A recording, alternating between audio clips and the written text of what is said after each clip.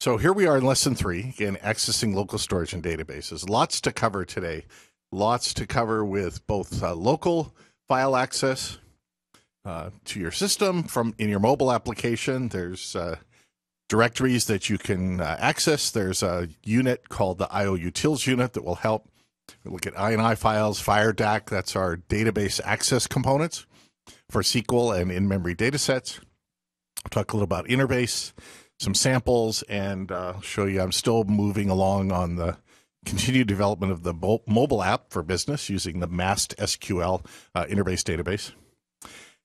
And uh, I'll be I, I, need to put those sample project zip files up for you to follow along. But at the end of the six lessons, I'll have the complete example and the deconstructed example for for all of you to go through uh, along the way after the fact, and also with everything that you're learning. Now, in a mobile application, there's local file access in certain directories that you can get to, your documents directory in the home path. You can get that and you can get and iterate through directories and subdirectories you might have in your documents path, some other folders with some files, maybe some bitmap files or some data files, text files, document files, whatever it might be. So there are lots of file access and directory access and testing to see if a file exists in system IOUtils. So I won't go through every method. There are a lot of them, hundreds of methods that you can use. And that gets you to your home path of your application, the documents path. In mobile systems, every application is in its own little sandbox world. And outside of that, if you want to get to other applications on your on your mobile device, you'll need to use third party components or APIs. So if you want to get to your contacts information, the music information, and things of that kind. And there's a mobile sample you can take a look at. It's in the mobile samples folder, media subfolder. It's called the music player. And it has code and it has API examples for going down inside and finding your albums, your your uh, artists, your playlists and and manipulating those. So it's a full music player written in C++ that you can uh, take a look at, and you'll see it another another example of how to go into the the file systems that are on your mobile device using uh, using the APIs. The other thing is we can use is the path operations that are in the IOUtils. And you'll see that in uh, some of the samples that I'm going to show you on the database side today. And also, we'll use that in our business uh, marine adventures application we build up. And what we do here is is we're going to find out where is the database. In this case, one of the samples that I'm going to show you is this to-do list or task list uh, database.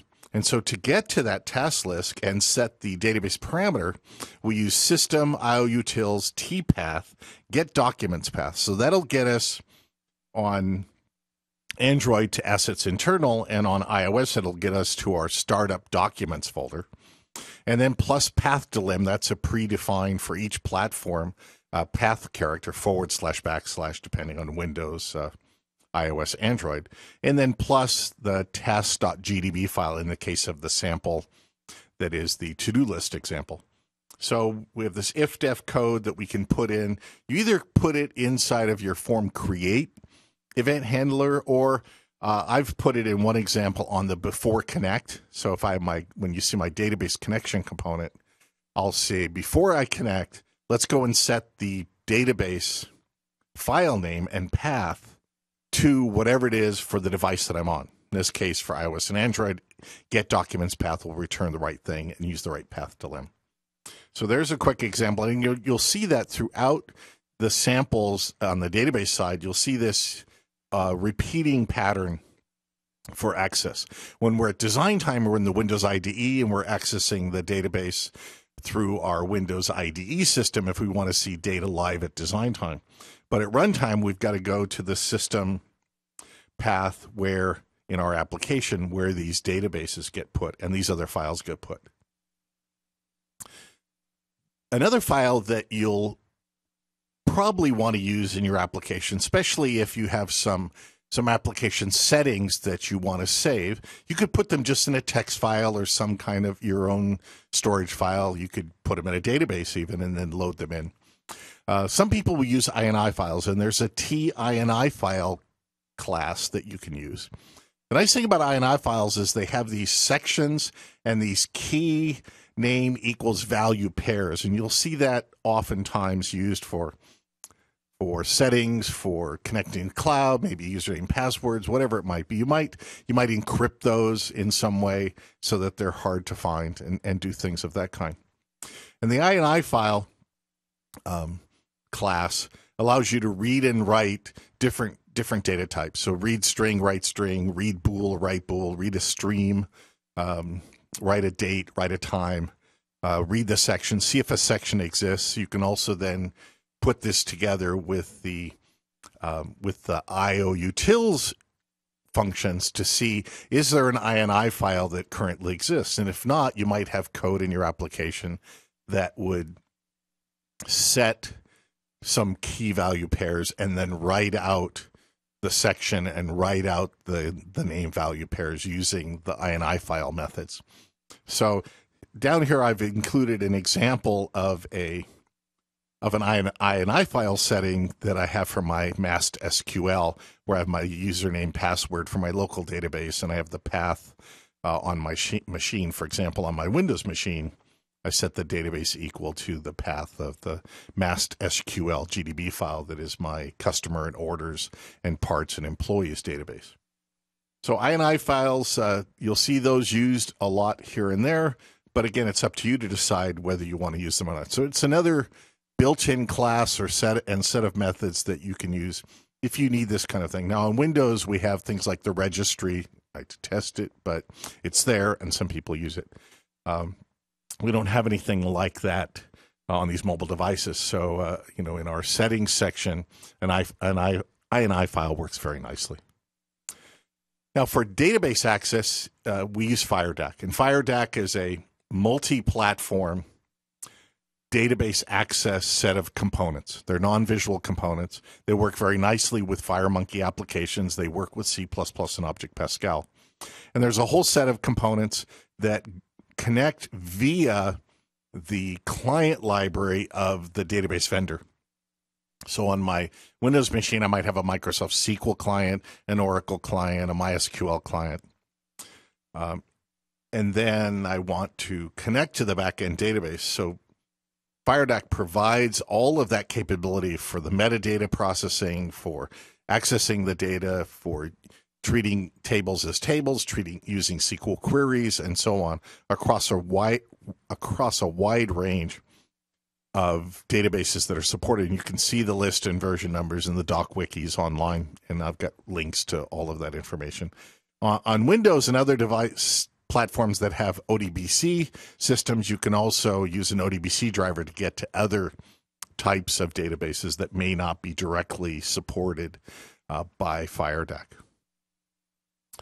Um, these are just a list of the databases that are supported, and again, more via ODBC. So, um, you know, Interbase, SQL Server, Oracle, Postgres, IBM DB2, and so on are all provided for MySQL uh, with FireDAC connectivity. Again, as long as you have the client library on mobile, we directly support through through APIs and libraries that are static libraries are linked in. Interbase XE3 in the form of IB Lite and IBToGo. More about those in a bit. SQLite comes with iOS and Android built into the operating system. So FireDAC can get to, to the SQLite API, and you can put SQLite databases uh, on your uh, on your mobile devices and and work with them. There is a whole set of components. I'm not going to go through every one. They're broken down into four different categories. There's the core of FireDAC. Most of the time, you'll use the FD connection component. You use the FD query, maybe the FD table, uh, maybe the FD stored proc to connect to a stored procedure if you have one in your SQL database. Uh, FD mem table, it's an in-memory data set that you can work with. If you don't have a physical database on the outside, you can just use FD mem table, create fields, populate them with data, and so on. Uh, services, things like backup restore, integrate with the backend APIs of the different databases. The physical link are there to make a connection between the components and the underlying client library that's available uh, on different platforms. And again, on mobile, we have client library you can link in f- currently for Interbase and for SQLite. The last thing are these FireDAC UI components we we need those to tell FireDAC, for example, most of the time you'll use the wait cursor. What wait cursor? So if you're doing a long running SQL query, maybe you have a little SQL icon, a wait cursor that would pop up to tell the users that some query is going on. And so we we use some of those UI. Those are the things to surface up what's going on in FireDAC to the users in your applications. Mostly, we'll use the the GUI wait cursor uh, as a component. So let's go through a few of the components real quick, and then we'll start looking at some samples. Uh, FD connection is the connection component. You can either connect to a, a file where you define the path to the file. Uh, you can also use the, the this built-in FD manager where there's a set of connection uh, definitions stored in an INI file. So if you have uh, that on on your mobile platform, that INI file, if it's found, you can then refer to a connection by a name. For example, maybe uh, customer orders or f- a file uh, data or order data, whatever the name of that database connection is. And in the database connection, then you define uh, the different fields and properties of the connection. Otherwise, you could just store into the properties in the FD connection component, and you'll see that in, in a moment. Um, you can also just write code to connect, create, in a sense, a, uh, a connection to a database without having a definition file, uh, without it being managed by the file definition manager, the FD manager. So you have three different choices um, to have the connection file or not. And where the connection file is, let's go. Let me close a couple things that I left open here. I don't need that. Uh, if I go over to my, let's close this file. Let's go to my desktop and let's open up, um, uh, let's see, in Embarcadero Studio, there's a fire FireDAC directory. And here's an example of this FD connection uh, definitions INI file. And if we look at it, it's got uh, here's the section in the square brackets. So an employee is an interbase database. There's the driver driver ID, what protocols used to get to it. Uh, SQLite is just a, a SQLite file.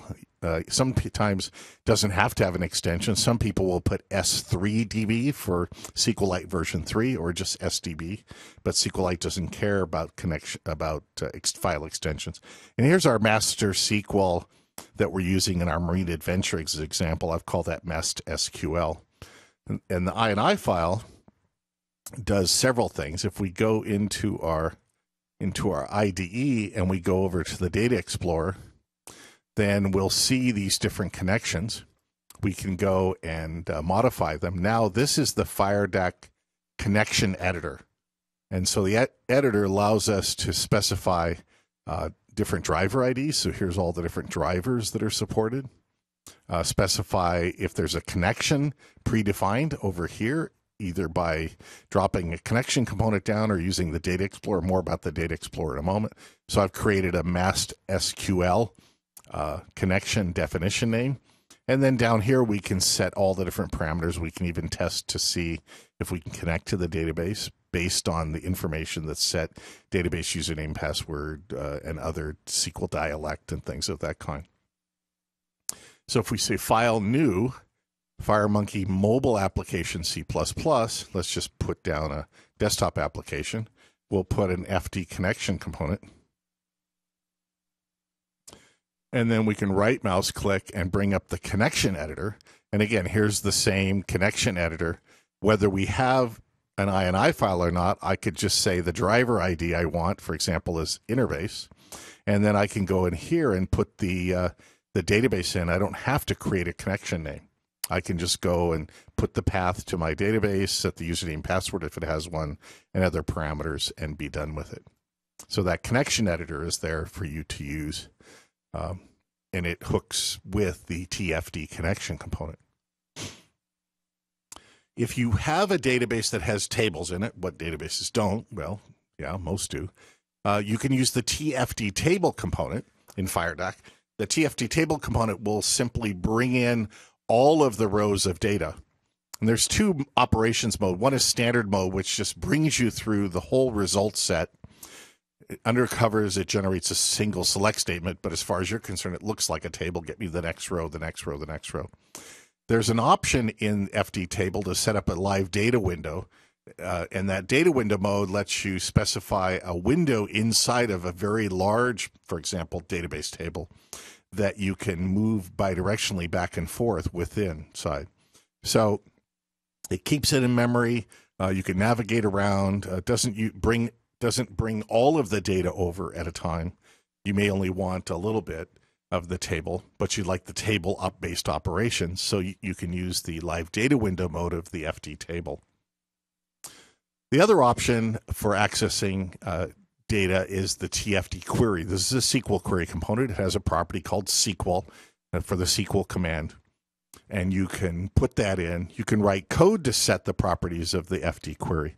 You can also use the query editor to sort of test uh, queries that take place. And you can call a method called exec SQL if you want to do encode. For example, maybe you're going to read through, uh, do a query, execute it, then for the row set that comes back, go and populate a list view using code, for example.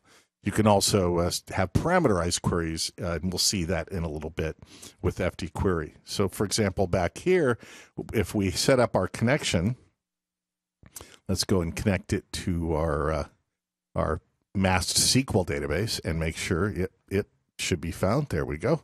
All right, so that's set up. Now we go and put a TFD query down and it it already sees that there's an FD connection, so it'll set the connection property.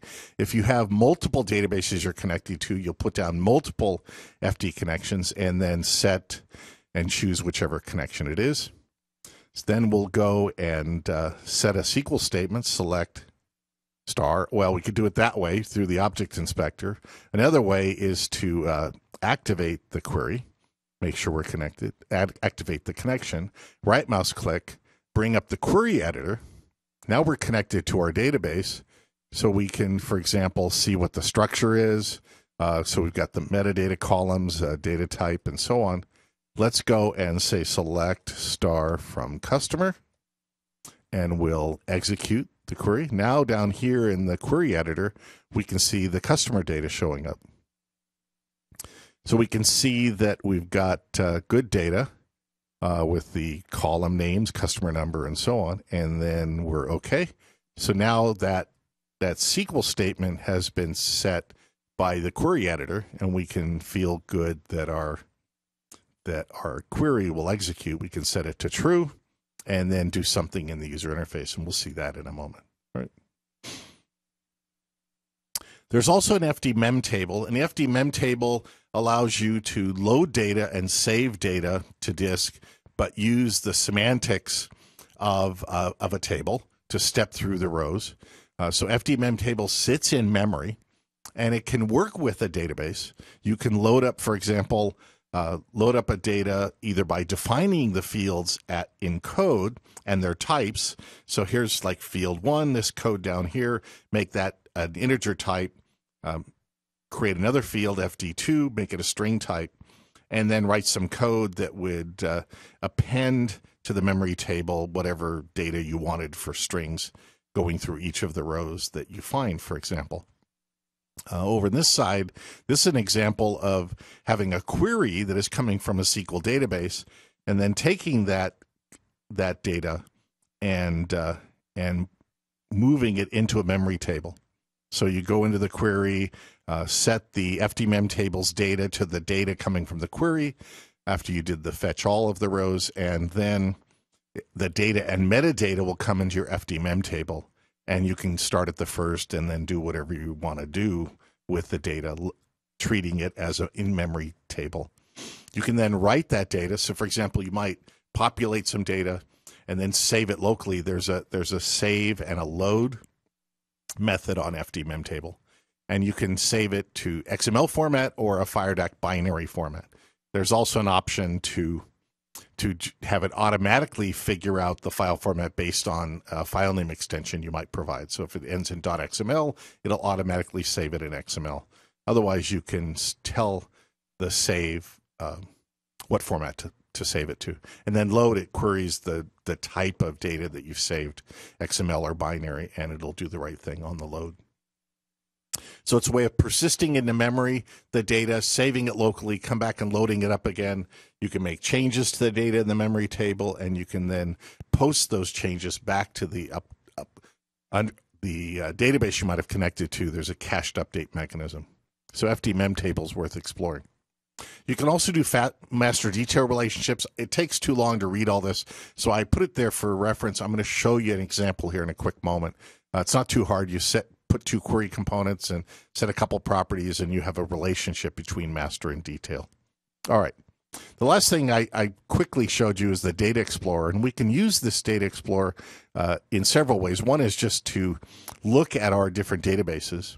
Uh, that we have connections to. And we can also drag drag and drop objects. So for example, if I wanted to put the employee uh, table on our form, we just drag and drop it down on the form. And now I've got an employee table component using the query that already knows the FD connection. So we can go in here and uh, and see the query. It already put in select star from employee, so we can execute it. And here's the employees that are in our master uh, SQL uh, Marine Adventures database. So we can use the Data Explorer to drag and drop things. You can even drag uh, fields down if you want to and do something with those. So um, it's a nice help. It's also just an explorer to look at. You can there's some other commands you can view the data uh, over here in, in, a window, just navigating from the Data Explorer. And uh, Stephen Ball is going to do a skill sprint tomorrow on Tuesday about using the Data Explorer with FireDAC. So you might uh, check that out tomorrow at six 11 and 5 p.m. or the replay for it. All right. So for local databases, I mentioned SQLite is here in mobile, and we've got this interbase. It's the full interbase XE3 feature set in a static library that you can link in. It's free to deploy. Gives you full ANSI SQL 92. Uh, doesn't have any encryption. Uh, has one transaction active at a time. We also have a commercial version called Interbase to Go, which gives you full secure encryption full SQL 92, multi transaction, uh, everything that you need. The IB Lite is limited to, I think it's 100 megabytes uh, for a database file over here, Interbase to Go, big databases on your local machine. Uh, in SQLite, there's really simple data storage. It's not ANSI SQL 92, uh, but it's it's included. Uh, I would use SQLite in a moment because it's full SQL that I want to operate on. Now, I included slides on Interbase XE3 about all of its features. It's a full uh, mobile desktop server edition, runs on Linux, on on OS 10, on Windows, and so on. So you can take a look at all the features there and on the Interbase page. This is probably a good summary. If you want to embed, there's the To Go and IB Lite edition. There's a desktop edition uh, that you can go. The trial comes with uh, the to go edition for 30 days and also with the IB Lite uh, in the purchase edition. So you can do, again, free deploy to as many users as you want with IB Lite in as many applications as you want. One other thing to mention is project deployment. You need to figure out a way to get your database uh, onto your machine. So we use the project deployment options and we'll need to add any feature files that are associated with certain databases like Interbase, for example, uh, and or SQLite. So let's take a look at some. Let's take a look at some samples. In the samples C++ mobile snippets page, there's two examples, a SQLite and an IB Lite example. So let's go and take a look at those. We'll say open project, samples, C++, uh, mobile snippets. Let's look at the SQLite version first. Uh, forget about that little thing. All right. So here's the FD connection component. It's uh, it's talking to a SQLite database. That SQLite database. Uh, let's go and find a place where we can find it. So it's in samples, uh, CPP, mobile snippets, uh, SQLite, uh, and or data.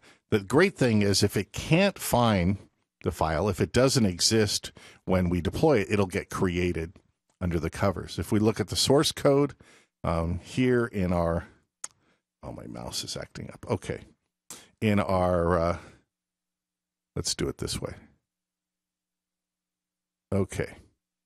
So here's the, uh, let's go down. Here it is. So before connect on the connection component, there's that code again that says let's take the and set the tasks uh, SQLite 3DB file uh, wherever it might be in our project deployment. We can go under our project deployment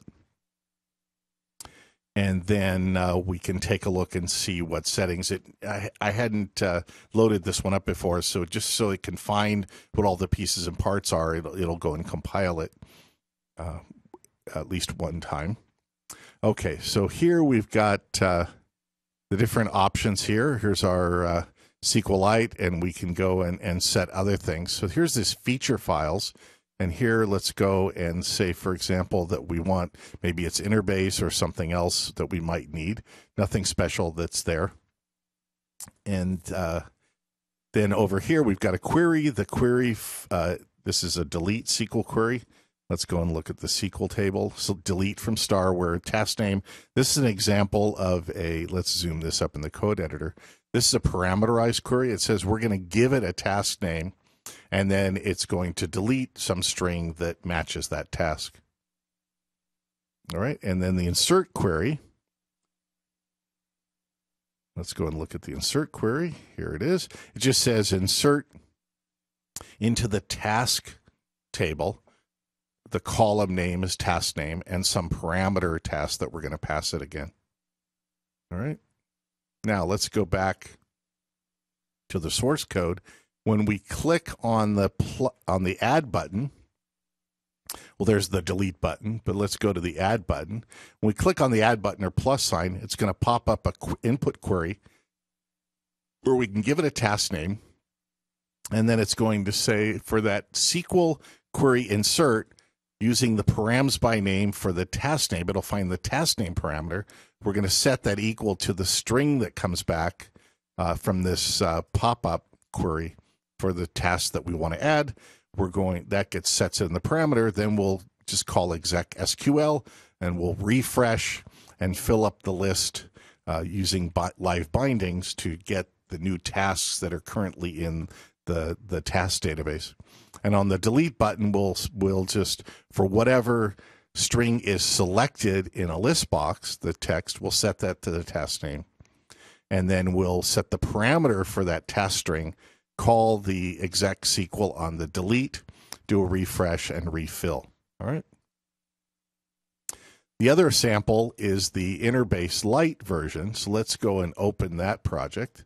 Uh, it's up here under mobile snippets, FireDAC IB Lite. Again, same thing. It's got a connection component. The connection component is talking to Interbase. In this case, it's talking on my local machine to that task GDB file. Uh, here's the table that does the query. Here's the query insert. Again, same code down here, insert with a parameterized. It's exactly the same code under the covers for both of those. Um, just uh, using Interbase instead at well using FireDAC, but notice the code's exactly the same. It's the beauty of FireDAC. You write one set of code, it works with all the databases that FireDAC supports, as long as you have a database with the right uh, with the right design. All right, let me uh, go and look at the project deployment. Okay, let's go here, and then we'll actually go and look at the examples uh, running on iOS and Android devices.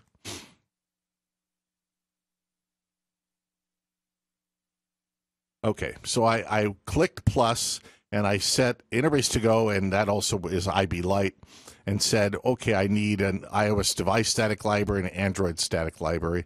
And that created into my project deployment list, for example, the uh, uh, Interbase uh, administration uh, file, the license text file and so on. Here's the license text file. So some files get added, and the static library gets uh, added to be linked in. So the static library uh, is is there for you as well.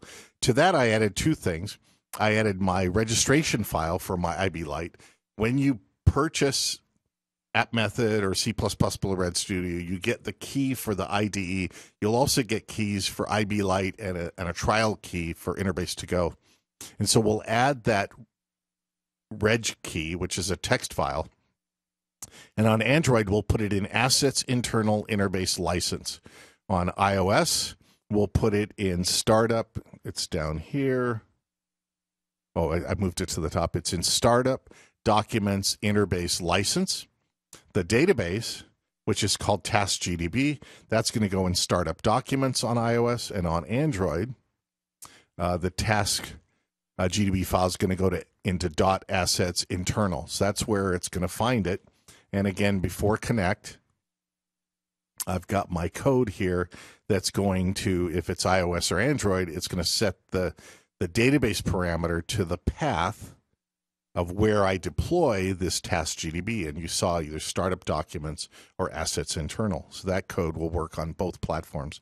And then there's the uh, add and delete, same code for popping up and doing it.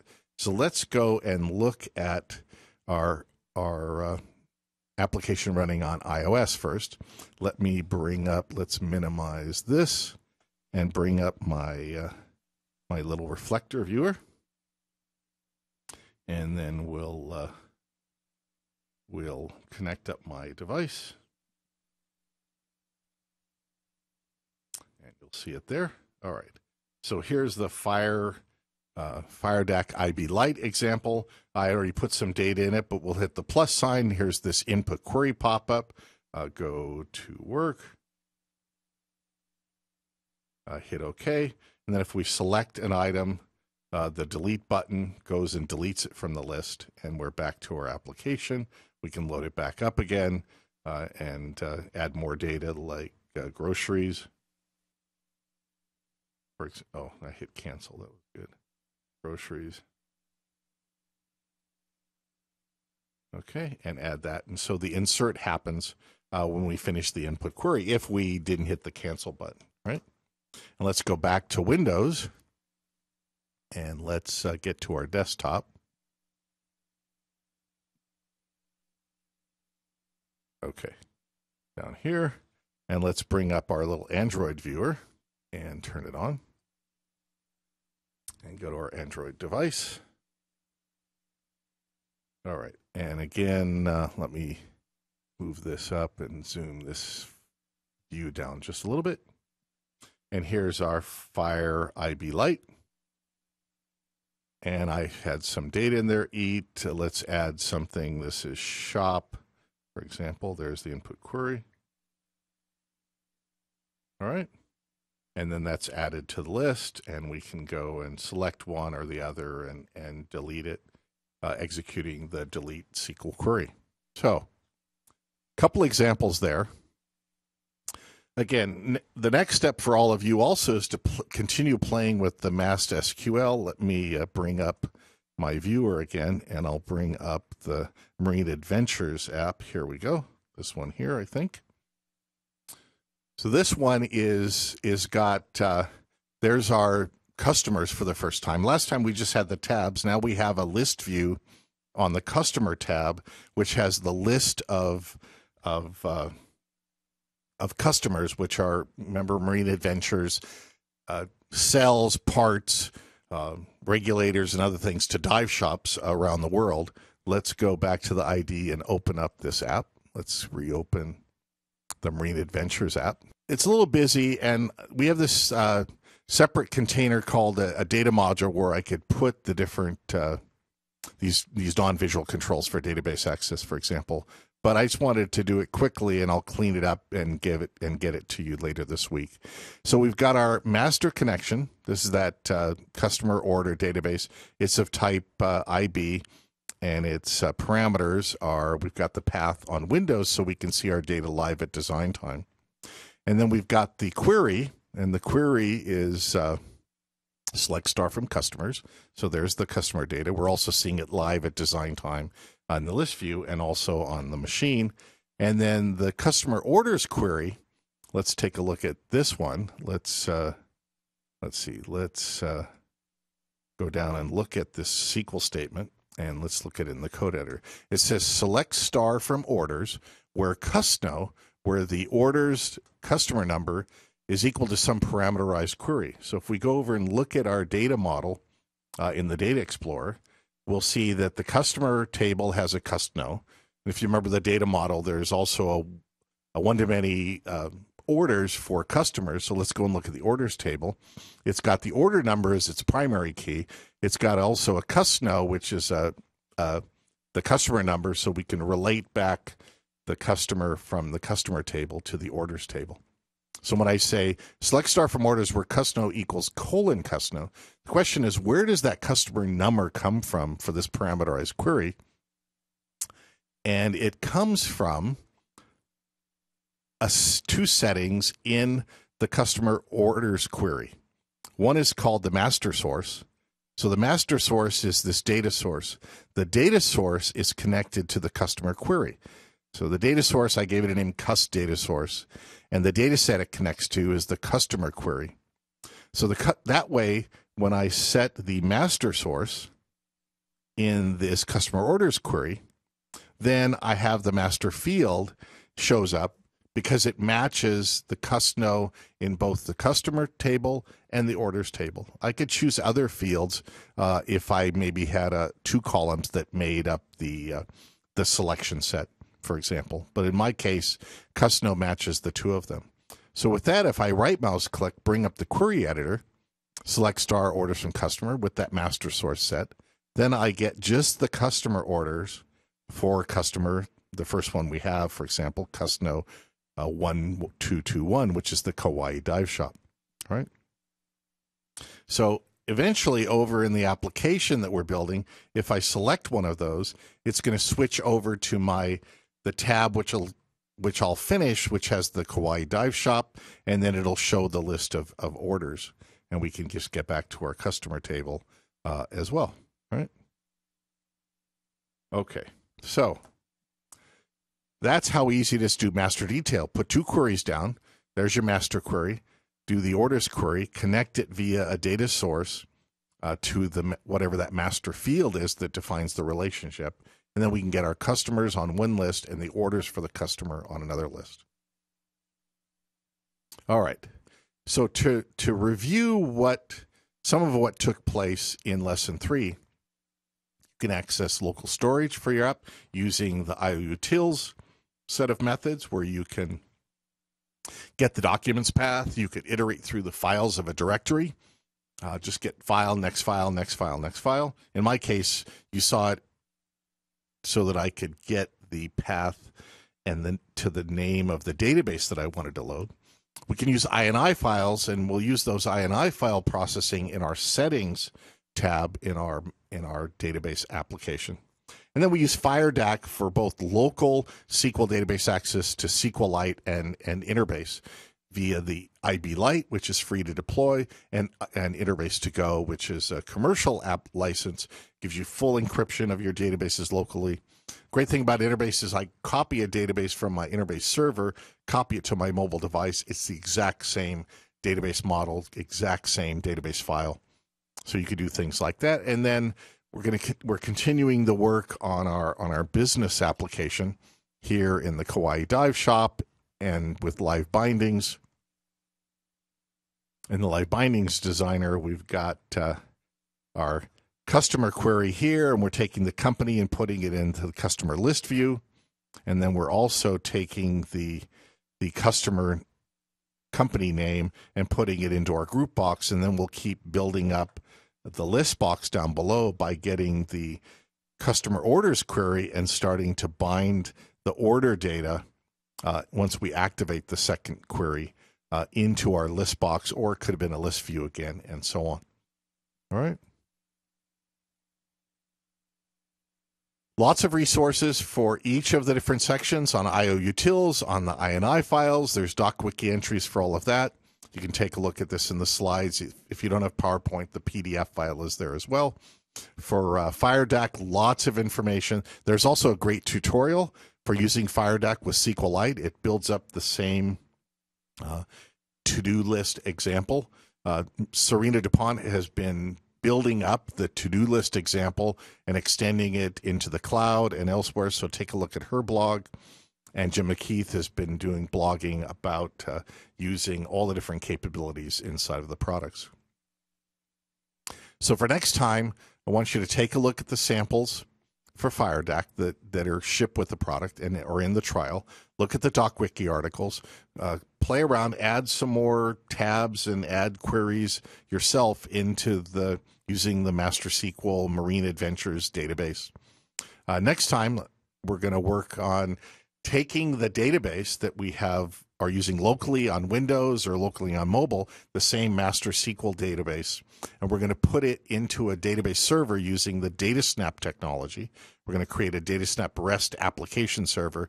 We're going to put the database over in there and run that on a Windows server uh, somewhere and then we're going to have uh, our mobile application, which is going to be thin. It doesn't have to carry around the Interbase database. It doesn't have to carry around the Interbase static library. All it needs is the FireDAC components to make a connection to the DataSnap server through HTTP and REST. JSON packets come over. We can make changes to the data on our phone. We can save them on our phone. And then when we're connected back to the DataSnap server uh, on the back end, we can play the changes back to the DataSnap server and it'll then get to the database where it is. Could be on Linux, could be on Solaris, could be on Macintosh, could be somewhere. It's also the way through DataSnap if you want to talk to SQL Server, uh, Oracle, and other systems, you can use the same code that you build on your mobile application to connect to your backend. Okay, Jim, what's happening out there in Q&A land? Are there any good guidelines for creating directories in publicly accessible storage to share files between apps? Uh, I don't know if they mean on the mobile device or somewhere else. I mean, if it's on a server, then you can go through the HTTP or TCP protocols to get to data. If it's in the cloud, in lesson six, we'll show you how to put data in parse and Kinvey, uh, put object storage and data storage out there so that multiple applications connect to them. DataSnap's probably the best way. We'll cover that in the next lesson where you have your SQL database somewhere. You build this access system and put it on a Windows server for now, a Linux server eventually, and then all your mobile applications can talk via the DataSnap server to get to wherever the database is. Um, I think they're talking about mobile. So I actually gave a link to uh, locate directory locations on there, but as well. Okay. Yep. Um, are there any C++ code samples that demonstrate using DataSnap and FireDAC for connecting to a remote database? We're going to cover that in lesson four.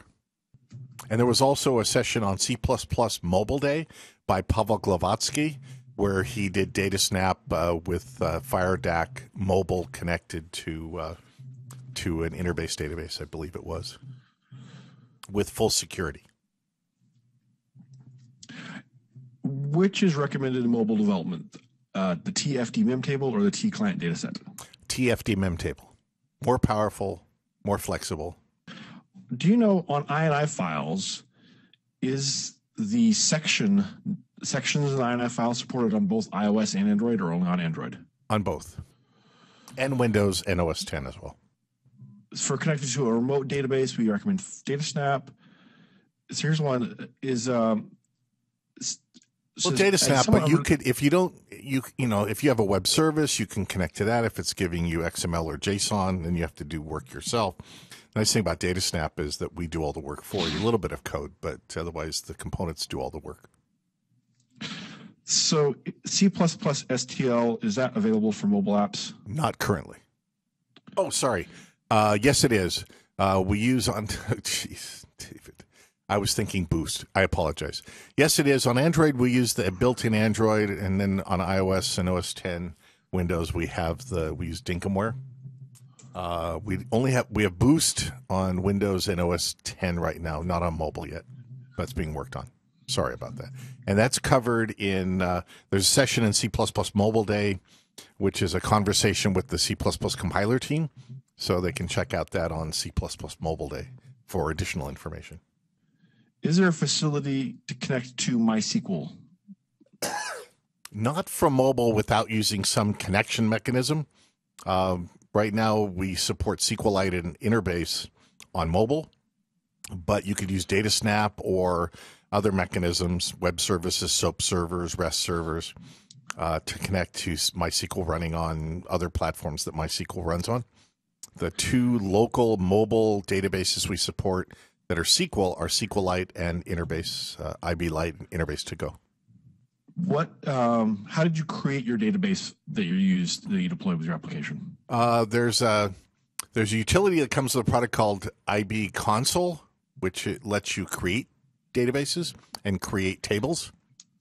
You can also just use uh, SQL statements and execute SQL statements uh, with a database connection to create a database and create tables. Let's see if uh, if I can do this. If I go up to um, Interbase, if I say add a new connection, test. Let's go here. Uh, we can run a SQL script here to create a database um, if you want. And there's other options and so on as well. So, um, but yeah, there's also IB console, which, uh, oh, I don't know where it is somewhere. It's under uh, Interbase IB console. So here you can go in and say, uh, for example, uh, add a database or create a database once you have a connection. So let's uh, connect. And I'll watch the time, Jim, I know. So here, create database, and you can change, give the different options, tell it where to put it, and so on. So yeah, IB console is there for you as well. Um, can we use menus or pop-up menus? Uh, there's no pop-up menus or menus for mobile. You can create your own button bars and a more button, or uh, there's this, uh, mech, you know, ways to to have these kind of pop-out menus created. And Sarina Dupont on her blog uh, has an article about how to create one of those kind of menus. But yeah, we don't have a T main menu component for mobile. Uh, you could just create a toolbar and put a bunch of speed buttons on it, or you can have a sort of slide out, pop out uh, thing. Um, if you want a sort of menu kind of approach, but there's no standard menu component or menu service on mobile devices. So, Luca, first question there was uh, can we generate Intel, Intel Atom uh, APK files? We don't currently we only generate ARM EABI files for ARM v7 for for Android. We're taking a look to see whether or not there's enough devices uh, to to for us to do the work to do Intel Atom. We have Intel code generators for Intel processors, and we know how to link and create ARM files for Android. So we're taking a look, but there really aren't that many devices yet. So we're spending our time working on some other things like uh, you know more functionality for mobile and more functionality for for desktop. But uh, we're watching. Let's see. Ronald asks, when setting the local database path, are you setting the path as it would be on the device or pointing to a copy on your computer? Well, it depends. At design time, if I want to see the data live at design time, then I have a copy of the database local on my hard drive, usually in the data for the samples because uh, I'm using that MAST SQL.gdb. But I also have a subdirectory called c colon backslash data, and I put my databases in there. So I could I could put an ifdef for Windows in my uh, before connect and set the path uh, accordingly, hard coded. I could also just put the GDB in in my documents on Windows, and then I could use the same code that I use for iOS and Android, uh, get documents path, uh, tpath delim plus the file because on Windows, get documents is going to return my user, uh, my documents, and then if I put the GDB in there, then that same code uh, concatenating to create the string, both on desktop as well as mobile, would use the same uh, expression, uh, the same code. So uh, you can do it either way, whichever way you want. Um, I've done it both ways, so it just depends on what I'm doing or thinking about at the time. But that code, get documents path, if you go to the doc wiki and look for get documents path, it, there's a table in the doc wiki and the help that tells you what each of those IOUtils commands uh, for tpath and and t directory what they do on each platform.